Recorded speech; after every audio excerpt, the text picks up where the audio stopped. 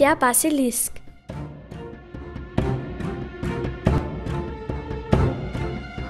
Leni, die Magd des Bäckers Garhebel aus der Schönlaterngasse Nummer 7, ging im Jahr 1212 zum Brunnen, um Wasser zu holen.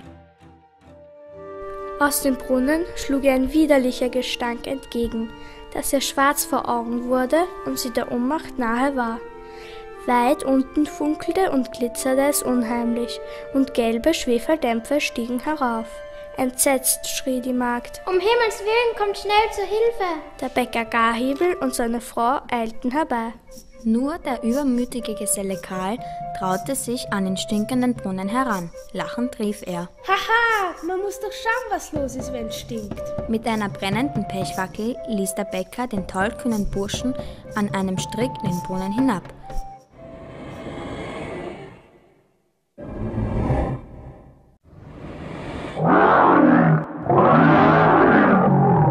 Kurze Zeit später schrie er laut auf. Und die Gesellen zogen den nach Luft schnappenden, halbtoten Karl schnell herauf und legten ihn in seine Kammer. Der Meister verschloss inzwischen sorgfältig den Brunnen.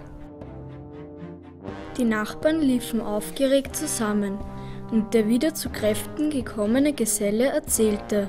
Da unten sitzt ein Ungeheuer. Es gleicht einem großen Hahn mit Krötenbeinen. Hinten hat es einen vielzackigen Schuppenschwanz, wie ein Drache. Auf den Kopf trägt es eine Krone. Das ist ein Basilisk, rief einer der Nachbarn. ein Tier, das aus einem Ei schlüpft, das ein Hahn gelegt und eine Kröte ausgebrütet hat. Sein Blick ist giftig. Er kann nur getötet werden, wenn er seine Hässlichkeit im Spiegelbild erblickt. Der tapfere Geselle Franz wollte es wagen.